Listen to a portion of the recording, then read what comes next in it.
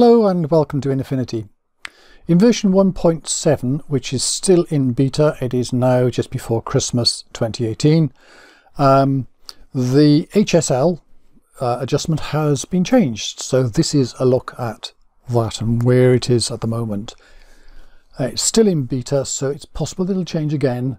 If I go help about here, you can see up there 1.7.7.0.209 which gives us an indication of what version it is. So let's have a look. Let's start off with the original one, just a quick refresh on what HSL does, which is of course hue, saturation and, if I bring that up here, luminosity, though sometimes it's called luminance or lightness or just something else. Um, and this lets us change overall colors. Which use sometimes, usually just a small tweak. We can increase the saturation and turn it down. Of course, we can always mask so we only get part of the picture. And we can make it all go to white or all go to black. Let's just put the saturation part way up so we're going to compare it with the other one. In fact, just now we'll put it all the way up. So let's go back to the, the new one now. Now if I get up the new HSL, if you've not seen this before, it'll be a little bit of a shock. Ah, goodness, look at that. It is quite different. Certainly up here, this is the bit that's different. These bits here are the same. So now again, we can change colours relative to one another. And you'll notice here the outside circle changing. It's like the second uh, line in the original. Um, so reset that and if we can take the saturation down it goes to monochrome up it gets saturated and the bottom goes black and white. So just for a comparison let's reset that and just turn this all the way up. So if I quickly switch to the other one it looks pretty similar. In fact the the new one seems to be just a little bit more saturated, um, if that's possible, but it's maybe it's just a perception. So what's the difference between them? Well, let's continue with this. I'll reset this one again. The difference really comes when it comes into the colours.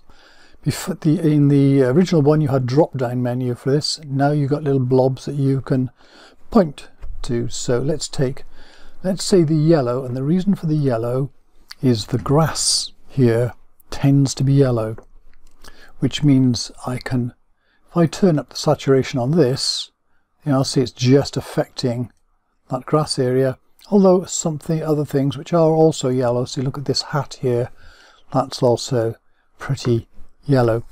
But what this, these dots let you do is we can drag these around. In other words, we're making a selection. So it's a kind of like a selective color. I did ask Affinity if you could get this, the, what selection out was an ordinary selection, and they said, eh, no plans to do that.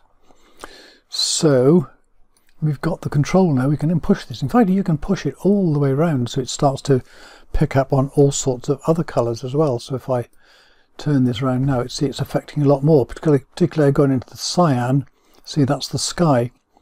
And what it does is you've got four dots and it means between the, the two middle ones, this is where it's most concentrated. So I can also drag the whole thing around, which is, uh, okay, uh, that's by grabbing the outside one. And where, yeah, see that, that's quite an interesting effect. And we can pull these together, so just focus on these colours and then gradient off to the side here. We've also very usefully got a picker. That appears on a number of the other tools, but I can go and say click up in the sky, and this will leap around to give me a distribution here of the sky. So now when I play with the saturation, I can increase it, I can make it grey.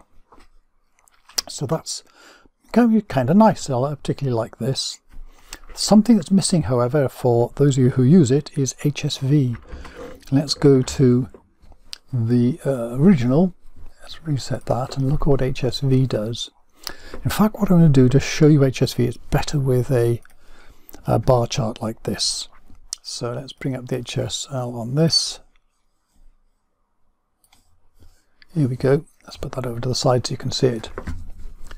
Let's do a reset so we start from scratch. So normally when you take the saturation, you turn it down, everything goes to grey.